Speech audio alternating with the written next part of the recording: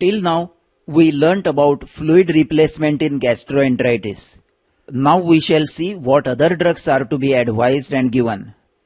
I have tried to stress the importance of fluid replacement because it is the most important thing in gastroenteritis.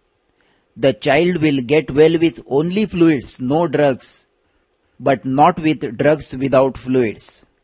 At the same time, it is important to control the intestinal infection and hasten the mucosal recovery by giving appropriate drugs. To control infection, we give an intestinal antibiotic. Actually, most of the cases of gastroenteritis are due to viral infection. So antibiotics are not needed. Antibiotics may be given only to those cases with fever, blood in the stools or severe diarrhea. But in practice, a mild antibiotic syrup is always prescribed, usually ofloxacin, Septran, Gramoneg that is nalidixic acid or colistin. And if bacterial infection is suspected due to fever, severe diarrhea or blood and mucus or foul stools or if the child is malnourished then injectable higher antibiotics like gentamicin, amikacin and cephalosporins should be given. Then the symptomatic treatment. If the child has vomiting, give syrup ondansetron or syrup Perinorm. If the child has intestinal colics and is crying, give syrup spasmindon. If frequency of the stools is more, give tab loperamide half tablet TDS. The skin around the anus may get inflamed or excoriated if it remains wet with the watery stools. So after every motions, clean and dry the buttocks, apply talcum powder and if redness of the skin is seen, apply zinc paste or xylodum ointment.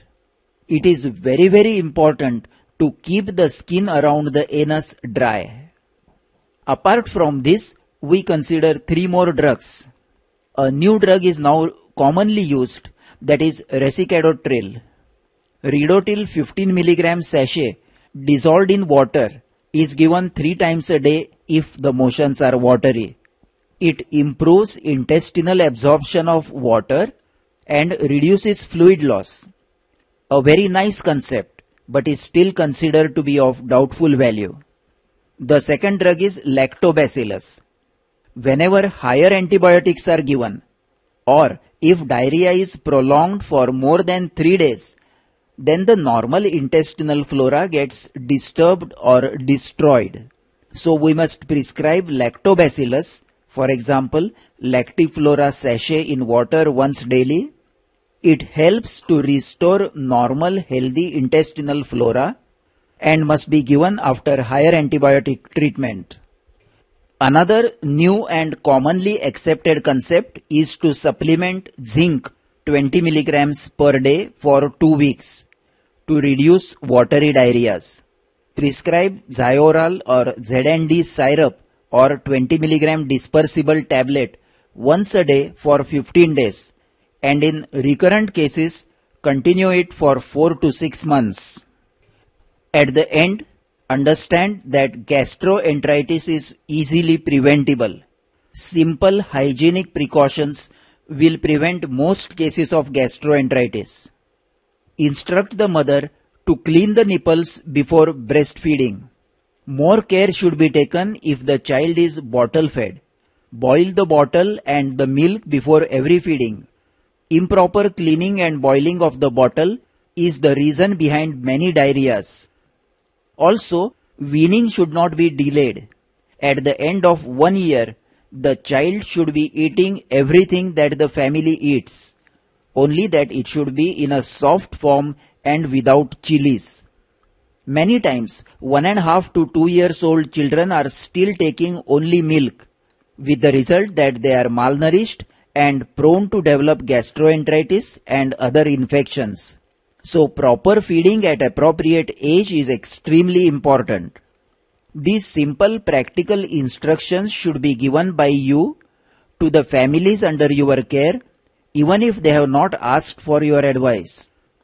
Most children under 5 years will get 1 to 3 mild episodes of diarrheas in a year. But if treated in time and with proper drugs and fluids, there will be no cause for worry and no dehydration.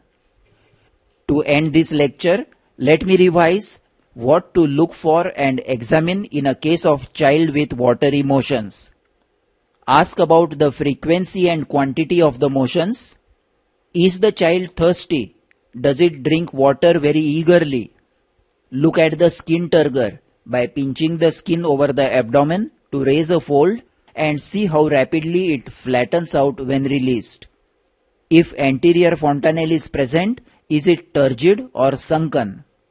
Are the eyeballs sunken? When has the child last passed urine and how much? Is the urine output scanty? Then is the pulse of good volume or rapid and thready? How is the respiration? Rapid, shallow or deep? And is the child alert, drowsy or unconscious? Considering all these findings, decide the degree of dehydration and then institute the treatment plan A, B or C.